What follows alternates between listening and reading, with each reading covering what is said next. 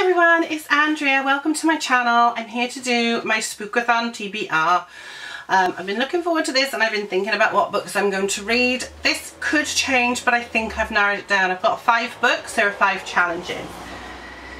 So, some of these books would actually fit in for more than one of the challenges, so. But I thought I would try and pick a different book for each one. So we'll just go through each challenge and what book I am going to read for that particular challenge. So the first one is read a thriller, th thriller? Read a thriller and I've picked The Bone Thief by Jefferson Bass. This could also be used for red on the cover. The woman at the autopsy table had been dead for only two days and had been in the cooler the whole time. But if I had been guessing from the condition of her neck, I'd have guessed that her corpse had been ripening at the body farm for a week or more. Forensic anthropologist Bill Brockton is exhuming a body to obtain a bone sample. A simple enough job until he discovers that the body's limbs have all been removed. Brockton soon finds himself working undercover for the FBI, infiltrating the brutal world of black market body parts.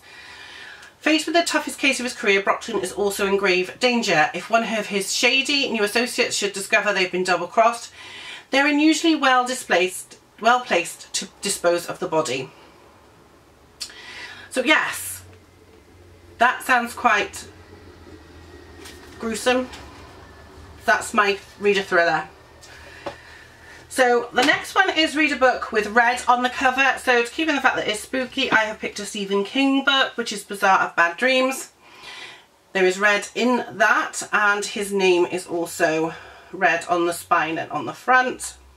So that is my red on the cover book. I'm looking forward to this. This is a collection of short stories, most of which have been published before, but not all of them. Um, a man who keeps living exactly the same life, repeating his mistakes over and over again. A columnist who kills people by writing their obituaries. And a poignant tale about the end of the human race. And a firework competition between neighbours which reaches an explosive climax. So that's my book with red on the cover. You've got to have a bit of Stephen King if it's spooky stuff. So I'm reading that. The third challenge is read a book with a spooky word in the title. This is open to interpretation. So, because there are lots of words that can be classed as spooky, such as curse, even, you know, blood, buried. So I've gone with uh, Becky Masterman's Fear the Darkness because the whole title just sounds really spooky. Um, this was in one of my uh, last month's wrap up. Uh, so Bridget Quinn has been shot at, stabbed in the spleen with a nail file and used uses serial killer bait. But she's also always been able to trust her instincts and her FBI training to help her out of danger. Now retired from the Bureau and investigating the tragic death of her neighbour's teenage son, Bridget starts to suffer unexplained bouts of paranoia, hallucination and memory loss and for the first time in her life she feels vulnerable.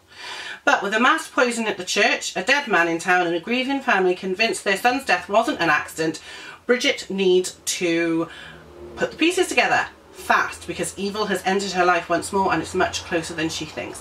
I think that sounds quite chilling. It's definitely a thriller and it's even got a bit of red on the back but not much. So that's my spooky word in the title. I think the whole title sounds quite spooky, Fear the Darkness, because who doesn't at points in their lives?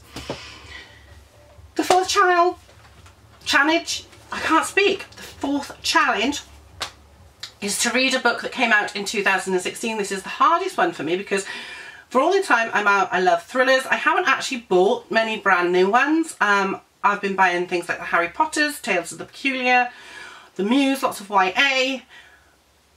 So yeah, I mean, that one was hard, but I did have one book uh, that I picked up quite cheaply a while back and that's The Woman in Cabin 10 by Ruth Ware. It did come out this year and it is a thriller so it definitely fits in with Spookathon. I know some people aren't that keen on it, but that one will fulfill the new in 2016 book and I'm sure to let you know what I think about it at some point during my Spookathon updates and wrap-ups. And the fifth and final challenge is to read a book that has a paranormal character in it. So this could be anything, I suppose, like demons, witches, vampires, ghosts, werewolves, I've gone with the Salem Witch Society, which is about witches, paranormal characters. Um, and yes, it's a dark fairy tale set in the modern day. I think this is a bit pushing it because I don't know if there's actually any witches in it. It's more of a thriller witch witchcraft. I think there's going to be witchcraft in it. I think there's going to be witches in it. So, if not, I've certainly got plenty of books. I nearly picked Terry Pratchett book, The Witch's Vacuum Cleaner, but I thought that's not even a thriller. That's a children's book. So I thought that would be really cheating. And this is pushing the pushing the thing a bit. But so those are currently my five books for Spookathon. It might change. It depends on if I pick up anything that's got anything weirder in it. So if I've got a character that's more paranormal than the title character witch, um, it might happen. I can't think of anything. I might be throwing on my Kindle. I've got one ghost in the title, but it's like 500, 600 pages long. It's going to take forever to get through. And there is a ghost in it. Um, so yeah, are you looking forward to Spookathon? Spookathon runs from the 17th to the 23rd of October. I'm looking forward to seeing how everybody gets on. I'm really looking forward to, to this.